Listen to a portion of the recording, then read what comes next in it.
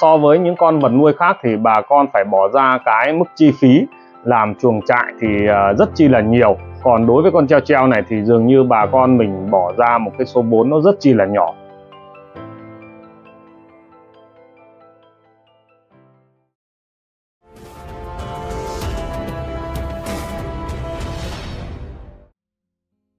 Đến với trại nuôi động vật hoang dã của anh Đỗ Văn Đạt tại ấp Thuận Tiến, xã Thuận An, thị xã Bình Minh, tỉnh Vĩnh Long, Đồng Lâm.net được anh giới thiệu về một loài vật nuôi có giá trị kinh tế cao mà chuồng trại chăn nuôi đơn giản, chi phí thấp, đó chính là con treo treo. Xin mời bà con cùng theo dõi hết video để biết rõ hơn về loài vật nuôi này. Quý bà con nào muốn tham quan trực tiếp mô hình hay có nhu cầu về treo treo giống thì hãy liên hệ cho anh Đạt qua số điện thoại đang hiển thị trên góc phải màn hình video. Xin chào toàn thể bà con, tôi à, cũng xin tự giới thiệu. Tôi là Đỗ Văn Đạt. À, hiện tôi đang là chủ trang trại chăn nuôi con động vật nuôi hoang dã. Và hôm nay thì tôi muốn uh, chia sẻ cũng như là giới thiệu đến toàn thể bà con một mô hình chăn nuôi cực kỳ là đơn giản mà nó lại mang lại cái giá trị kinh tế rất chi là cao à, cho chính bản thân của tôi cũng như là à, cho chính bản thân của bà con. À, sau này bà con à, bắt tay vào chăn nuôi. Thì à, hôm nay tôi muốn giới thiệu đến bà con đó là mô hình chăn nuôi con treo treo của tôi có địa chỉ cụ thể tại à, ấp Thuận Tiến, xã Thuận An, thị xã Bình Minh, tỉnh Vĩnh Long. Trong thời gian qua, anh Đạt nhận được sự quan tâm của nhiều bà con về con treo treo. Trong đó, điểm chung là bà con chưa biết nên bắt đầu từ đâu và chăn nuôi như thế nào. Anh Đạt cho biết đây là một mô hình chăn nuôi đơn giản, chi phí làm chuồng trại thấp, chỉ cần tận dụng lại một mảnh vườn và dùng lưới B40 quay xung quanh là có thể chăn nuôi được rồi. Còn thức ăn của treo treo bao gồm những gì thì xin mời bà con cùng nghe anh Đạt chia sẻ sau đây. Xin giới thiệu đến à, toàn thể bà con thì trong cái suốt quá trình à,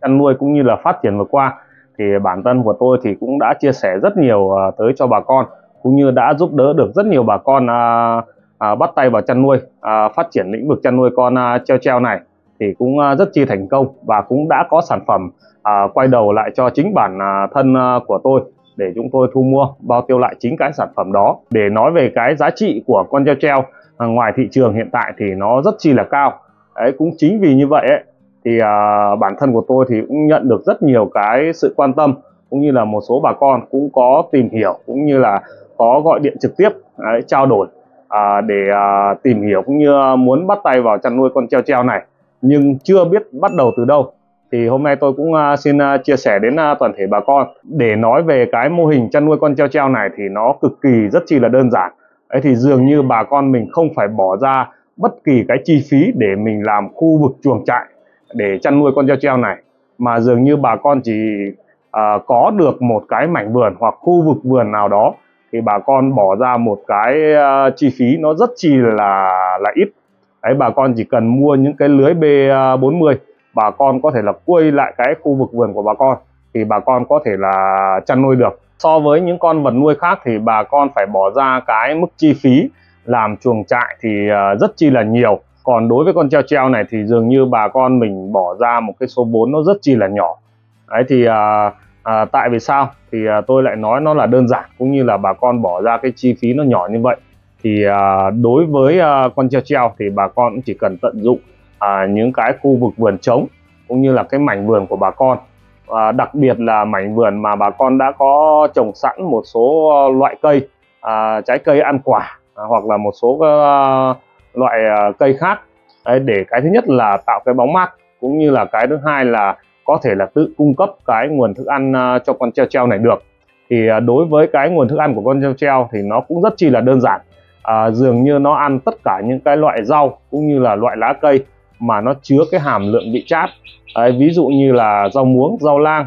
hay là một số lá ổi đấy, lá sung lá khế là nó đều ăn được cả. Và một số loại uh, cỏ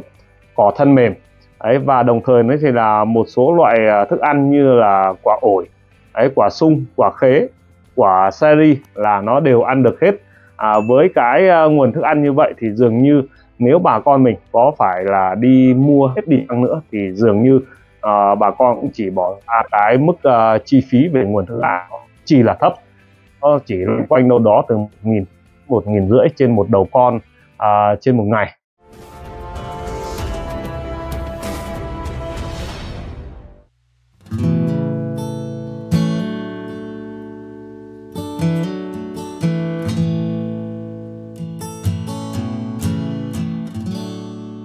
Ưu điểm của treo treo là có sức đề kháng tốt, ít dịch bệnh nên gần như không sử dụng đến các loại thuốc để phòng trị bệnh. Treo treo tự phối giống, tự sinh sản và nuôi con nên anh Đạt gần như không phải can thiệp hỗ trợ trong quá trình chúng lên giống và sinh sản. Nếu như bà con nào muốn chuyển đổi sang nuôi loài động vật hoang dã này thì hãy đến trực tiếp trại anh Đạt để tìm hiểu, học hỏi cách chăn nuôi. Số điện thoại liên hệ là số đang hiển thị trên góc phải màn hình video.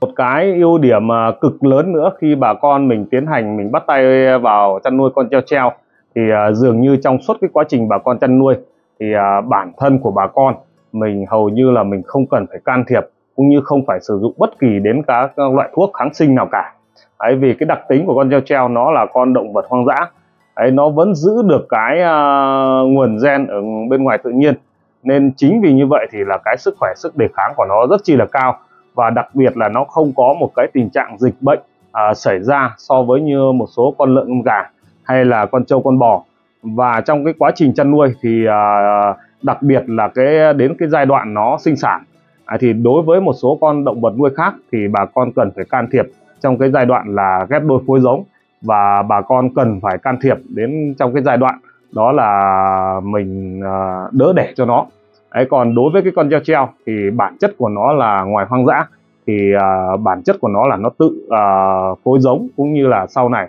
nó tự đẻ cũng như tự chăm sóc con. Ấy dường như là bản thân của bà con mình không cần can thiệp bất kỳ một cái uh, giai đoạn nào trong cái vấn đề uh, nó sinh sản cả. Chăn nuôi treo treo khá đơn giản không đòi hỏi kỹ thuật chuyên môn cao. Tuy nhiên anh đạt lưu ý trong giai đoạn treo treo sinh sản nếu bà con sử dụng lưới B40 quay xung quanh thì mắt lưới khá to nên cần sử dụng các tấm tôn để che kín phần từ chân lưới lên. Mục đích là để treo treo con không lọt ra ngoài, nên chuồng nuôi treo treo không nên làm bằng nền xi măng. Lý do là gì thì anh Đạt sẽ giải đáp chi tiết sau đây.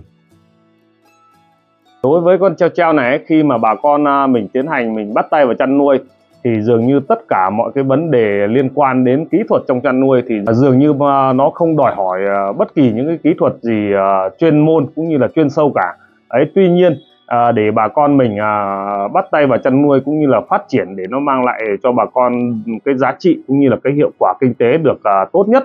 thì à, bà con mình cũng cần phải lưu ý. Cái thứ nhất này là đối với con treo treo nó là con à, động vật à, chăn nuôi thả. Ấy thì bà con mình chỉ cần đáp ứng là à, cái khu vực vườn của bà con. Bà con quây kín nó lại. Ấy à, bà con có thể là sử dụng là mình à, xây tường bao. Ấy, hoặc bà con có thể là sử dụng cái lưới B40 để bà con quây kín cái khu vực chăn nuôi của bà con lại. Và tuy nhiên nữa thì bà con cần lưu ý thêm đó là à, trong cái giai đoạn khi con treo treo nó sinh sản mà có cái con non sinh ra thì bà con cũng cần à, bổ sung. Đối với bà con khi bà con sử dụng cái lưới B40 thì cái mắt của nó tương đối là to ấy thì bà con mình có thể là sử dụng những tấm bờ lô hay là một số cái tấm tôn. Ấy mình ừ, be từ mặt đất lên cách khoảng độ tầm à, à, 60 phân cho đến 1 mét để à, tránh cái tình trạng là con non là nó sẽ chui ra bên ngoài thì nó sẽ dẫn cái tình trạng là thất thoát cái con giống của bà con.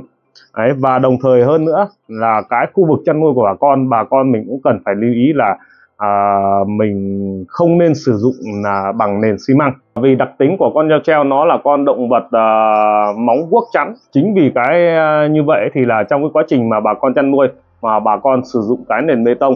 thì nó hay dẫn cái tình trạng là nó đi lại hoặc là nó chạy nhảy thì nó sẽ dẫn tình trạng là trượt chân. Thì cũng có thể là dẫn cái tình trạng là làm thương cái con vật nuôi của bà con. Ấy thì à, để bà con mình à, chăn nuôi được trên cái nền bê tông như vậy đấy thì bà con mình cần phải lưu ý là bà con giải thêm một cái lớp cát là 2 cho đến 3 phần để tránh cái tình trạng khi con uh, treo treo nó đi lại nó không bị cái tình trạng trượt chân. Và cái khu vực chăn nuôi của bà con thì bà con cũng cần lưu ý là khi à, trời mưa xuống thì bà con mình cũng tránh cái tình trạng là nó bị ngập nước uh, trong cái khu vực chăn nuôi của bà con. Khi nó bị ngập nước như vậy thì bà con mình cũng sẽ không tránh được cái tình trạng là uh, thất thoát cái con non Ờ, khi nó vừa mới sinh ra mà nó à, bị ngập nước như vậy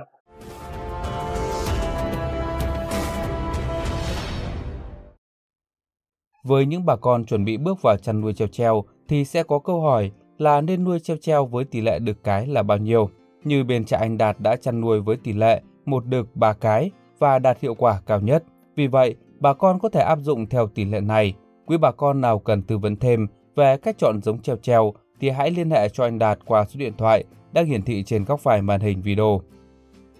Và một điều bà con cũng cần phải lưu ý thêm cho tôi khi bà con tiến hành bắt tay vào chăn nuôi à, cái con treo treo này là cái tỷ lệ đực cái cũng như là bà con cần định hình rõ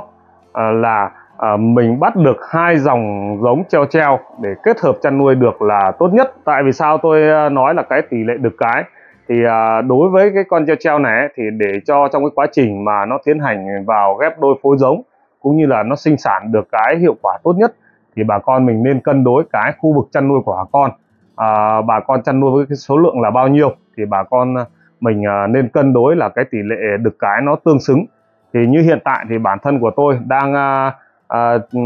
chăn nuôi theo cái tỷ lệ đực cái là một con đực à, ba con cái thì trong cái quá trình là sau này nó sẽ sinh sản cho bà con được cái hiệu quả được uh, tốt nhất. À, và ngoài ra nữa thì như vừa nãy tôi cũng đã chia sẻ là à, bà con mình nên cân đối là à, cái thứ nhất là bà con mình phải định hình cũng như là bà con tìm hiểu đến những trang trại. Bà con cần phải hỏi rõ. Đấy, ví dụ như bên trang trại anh tôi là khi cung cấp con giống cho bà con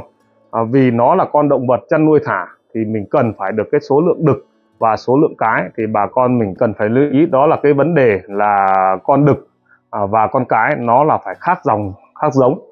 Đấy, tại vì sao nó phải khác dòng khác giống? Vì cái thứ nhất này khi bà con mình mà bắt tay vào chăn nuôi bà con chăn nuôi thả như vậy mà bà con mình à, bắt con giống nó cùng dòng cùng giống thì tất nhiên sau này nó sẽ không sinh sản được cho bà con. Vì cái đặc tính của con treo treo ấy thì là nó tự biết phân biệt cái chủng loại ấy khi mà bà con bắt con giống về à, bà con à, chăn nuôi ấy, thì nó chỉ cần được có được cái con bố mẹ là nó có thể là tiến hành vào ghép đôi phôi giống được. Ấy còn sau khi một cái con con nó sinh ra thì bản chất của nó là nó phân biệt được dòng giống của nó thì gần như nó sẽ không giao phối. Ấy cũng chính vì cái lý do như vậy thì bà con mình phải cân đối là mình tìm đến những trang trại à, người ta phải à, phân loại cho bà con ngay từ cái giai đoạn ban đầu. Nó là con đực cũng như con cái nó phải khác dòng khác giống và đặc biệt là tỷ lệ tối thiểu là hai con đực khác dòng cũng như là tỷ lệ tối thiểu hai con cái khác dòng. Thì sau này nó giao phối với nhau nó sinh sản ra cái lứa con con nó thì là con con nó nó không cùng dòng cùng giống.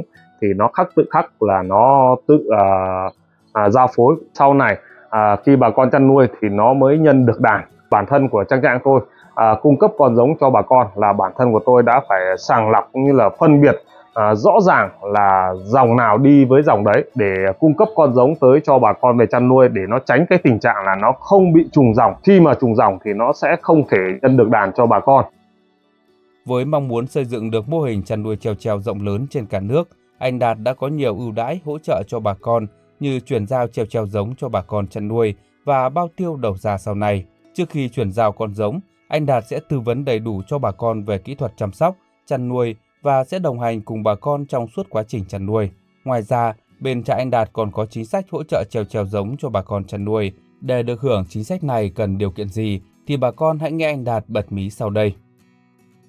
Với cái giá trị hiệu quả kinh tế của con treo treo này nó mang lại nó rất chi là lớn, à, rất chi là cao thì một số bà con cũng à, có gọi điện cũng như là trao đổi trực tiếp là muốn bắt tay vào chăn nuôi cũng như là muốn liên kết với bên trang trại thì à, tôi cũng xin sẵn lòng là chia sẻ toàn bộ những cái kinh nghiệm chăn nuôi của ừ, tôi cũng như là hợp tác à, để cùng bà con mình à, bắt tay vào chăn nuôi để phát triển lĩnh vực à, chăn nuôi con treo treo này nó được lớn mạnh hơn nữa. Ấy và đồng thời ấy thì là à, trong cái quá trình mà bản thân của tôi à, bắt tay vào chăn nuôi cũng như là bắt tay vào hợp tác à, cùng với bà con thì à, bà con mình gần như là yên tâm tuyệt đối trong cái vấn đề là sau này bà con có sản phẩm làm ra thì bản thân của tôi sẽ là người trực tiếp thu mua bao tiêu lại chính cái sản phẩm đó của bà con. Và đồng thời để thuận tiện à, cho bà con à, bắt tay vào chăn nuôi nó được à, thuận tiện nhất cho bà con chăn nuôi về sau này. Thì khi mà bà con bắt con giống của bên trang trại thì cái việc đầu tiên là bên trang trại sẽ hỗ trợ bà con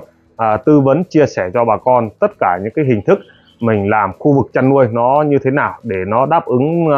đầy đủ cái nhu cầu à, cho con treo treo này nó được phát triển cũng như là sinh trưởng và sinh sản được tốt nhất. Ấy và bên trang trại thì sẽ, sẽ luôn luôn là đồng hành cùng bà con trong suốt cái quá trình bà con chăn nuôi đó. Ngoài ra thì là khi bà con mình đã bắt tay vào chăn nuôi thực tế cũng như là đã uh, hợp tác cùng uh, bên trang trại uh, mà bà con mình muốn uh, bắt tay vào chăn nuôi phát triển với cái số lượng cũng như là quy mô nó lớn hơn mà bà con cái điều kiện đồng vốn của bà con nó cũng chưa cho phép nhiều. Thì à, bên trang trại cũng có rất nhiều cái chính sách hỗ trợ cho bà con. Cũng có thể là hỗ trợ con giống cho bà con để bà con mình bắt tay vào chăn nuôi với cái số lượng lớn hơn về sau này. Ấy tuy nhiên thì để bên trang trại à, yên tâm bàn giao cái con giống của bên trang trại cho bà con về chăn nuôi à, để bà con phát triển thì tất nhiên là bên trang trại cũng cần à, đòi hỏi ở bà con đó là bà con mình cần phải bắt tay vào chăn nuôi thực tế à, khi bà con mình bắt tay vào chăn nuôi thực tế bà con có sản phẩm làm ra rồi thì lúc đó thì bên trang trại cũng sẵn sàng là hỗ trợ đầu tư con giống cho bà con về chăn nuôi với cái số lượng lớn hơn về sau này. Cũng để nhằm cái à, mục tiêu là để bên trang trại có được cái số lượng à, khi bà con à, chăn nuôi làm ra à, có dòng thương phẩm quay đầu lại cho bên trang trại để bên trang trại à, thu mua bao tiêu để à, bên trang trại à, cung cấp cái à, À, dòng à, đặc sản này ra ngoài thị trường